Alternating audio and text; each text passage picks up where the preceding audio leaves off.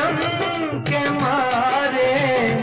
रूठ जाए तो मैं क्या करूँगा